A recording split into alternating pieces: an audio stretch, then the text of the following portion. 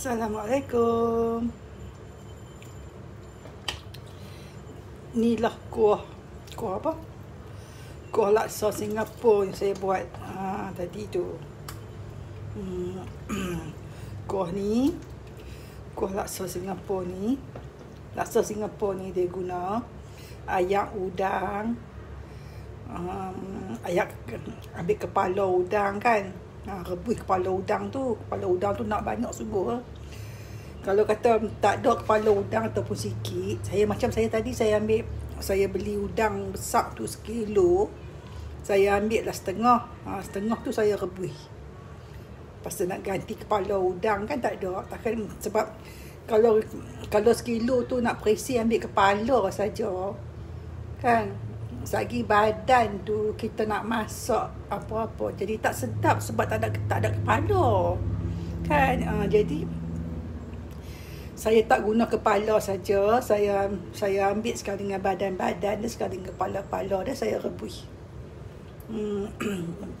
laksa apa kuah laksa Singapura ni dia guna dia guna ya, udang ataupun um, ataupun kepala udang. Lepas tu dia guna guna udang kering. Ha depa asas depa yang tu ni penting rasa depa depa tak guna ikan.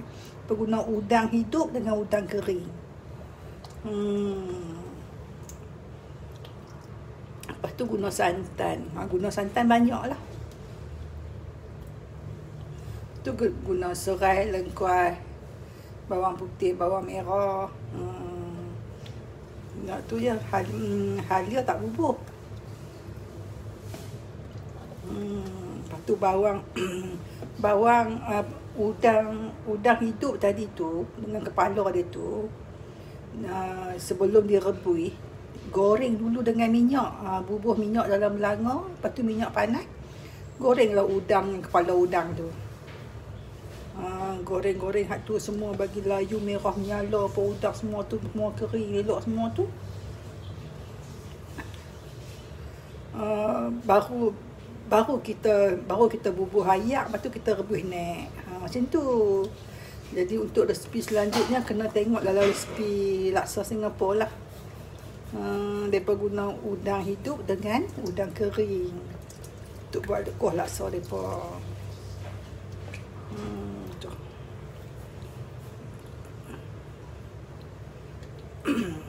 Kalau ikut betul resipi depa tu depa depa guna depa guna kepala ikan. Eh kepala ikan pula. Depa guna kepala udang.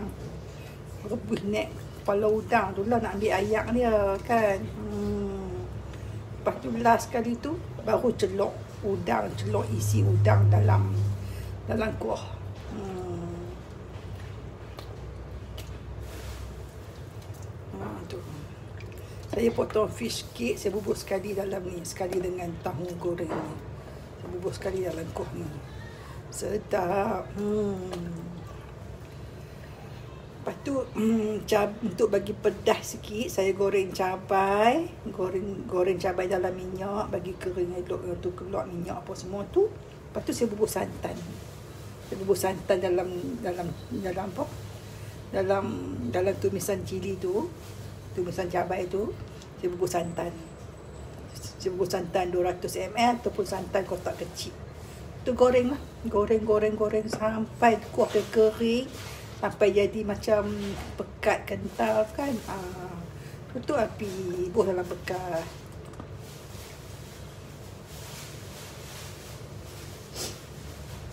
Ha, sebab kuah dia putih tu sebab guna santan. Hmm, hat kuning-kuning ni, hat kuning-kuning kuning-kuning ni bukan cabai, bukan kunyit. Kuning-kuning-kuning ni ialah uh, apa? Uh, minyak yang kita goreng yang yang kita goreng udang tadi tu. Ha. Minyak yang goreng udang tadi tu lepas kita goreng semua udang tadi tu kita, kita rebuslah pula dalam ayak. Dalam ayak ni, ayak ni tadi yang kita kita bubuhlah bahan-bahan bahan-bahan yang kita kisap bumbu-bumbu tadi tu kita kita kisap apa kita serat serai lengkuas uh, bawang putih bawang merah um, uh, mesti nak tu dulu uh, lepas tu um, lepas tu tomat tomat-tomat-tomat tu. Lepas tu uh, cili kering tu kita ambil dalam segenggam. Kita kita mixi bagi halus juga. Lepas tu kita kita bubuh dalam dalam dalam serai lengkap kita tomat itu. Ha, jadi tomat semualah. Tomat bagi wangi apa semua tu. Ha, barulah bubuh langkah kuah tadi tu. Hmm. Tak nampak putih ni, dia santan lah ni. Ha, santan. guna ayak udang ya guna ayak udang itu dengan ayak udang kering. Rasa tu sedap. Sedap kalau rasa malas nak buat apa semua nak try dulu kan. Pergi makan dekat cigarette recipe ha, hak tu sedap. Rasa Singapura dekat cigarette recipe memang sedap. Saya kalau saya, saya jumpa cigarette recipe uh, hak tu lah makanan makanan yang akan saya yang akan saya pesan. Rasa Singapura Hmm. Rasa Singapura dekat segala resepi sedap.